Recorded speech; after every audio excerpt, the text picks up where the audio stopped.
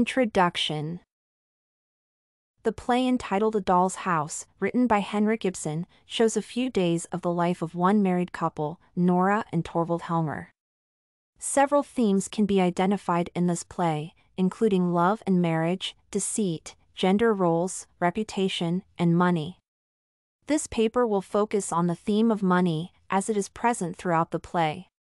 It will be argued that the use of such elements of drama as role and character, tension, and relationships between characters, Ibsen introduces this theme and conveys the message that money is power. Plot Summary On Christmas Eve, Nora comes home with gifts, but her husband gently reprimands her for being a spendthrift. The couple celebrates Torvald's recent promotion in the bank and expects their financial position to improve. Then, Dr. Rank and Mrs. Linde arrive at their house, and Nora has a conversation with Mrs. Linde. Nora confesses that she borrowed a large sum of money to take her husband to Italy when he was ill. She believes that, by doing so, she saved her husband because doctors told her that he needed to live in the South to recover.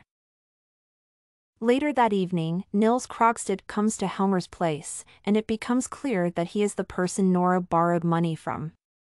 Krogstad threatens Nora that he will reveal her secret to her husband unless she convinces Torvald not to fire Krogstad. Nora fails to do so and fears her fate so much that she starts to think of suicide.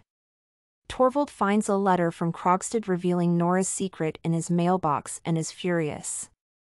Later, he receives a note from Krogstad saying that he will no longer blackmail Nora, which calms Torvald down. He is ready to forgive Nora, but she leaves him, she has realized that he is a stranger to her. Literary Analysis The theme of money in the play starts with introducing the character of Torvald. Torvald is highly concerned about money. Upon seeing gifts bought by his wife, he wonders Has my little spendthrift been wasting money again?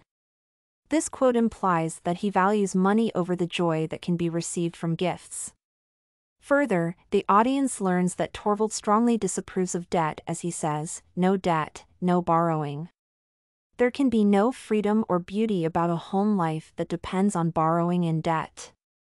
Such Torvald's attitudes to debt and money lay the beginning of a conflict that unfolds later in the play.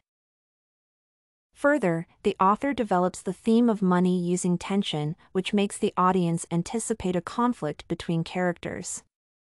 Tension emerges when Nora reveals that she borrowed much money behind Torvald's back. From Nora's perspective, her actions are justified, she genuinely believes that she saved Torvald's life.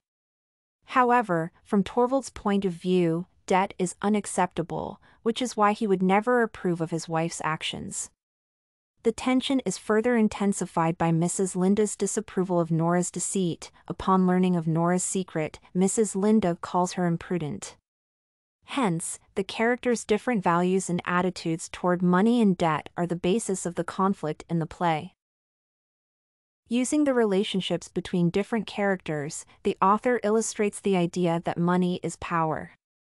The relationship between Nora and Torvald is one such example.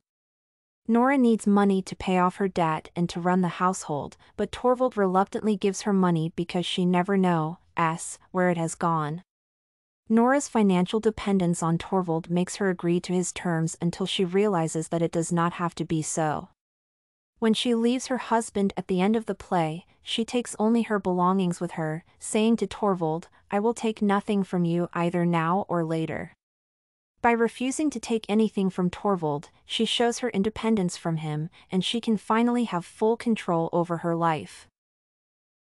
Another example of the theme of money as power is the relationship between Nora and Krogstad, her lender. By lending money to Nora, Krogstad got power over her, and he took advantage of it by blackmailing her. Once, when discussing the debt with Nora, Krogstad said, If you stood there with ever so much money in your hand, I would never part with your bond. This quote shows that, for Krogstad, money is not valuable in itself, what he values about it is the power it gives. Finally, the theme of money is evident in the relationships between Krogstad and Mrs. Linde, who used to be in love with each other. Mrs. Linde broke up with Krogstad and married a well-off man whom she did not love. The reason for her deed was the need for money, you must not forget that I had a helpless mother and two little brothers. We couldn't wait for you, Nils, your prospects seemed hopeless then. Hence, the play shows that money gives power to those having it and deprives of independence those lacking it. Conclusion To sum up, the theme of money is prominent in A Doll's House. The author's statement of this theme is created through such elements of drama as characters, tension, and the relationships between characters. The play conveys the message that money is the power since characters who possess money have control over those with no or little money. Moreover, the character of Krogstad shows that for some people, the power resulting from the possession of money can be more valuable than the money itself. StudyCorgi.com has everything you need for successful studies. Writing tools, informative articles, and essay samples. Come check it out!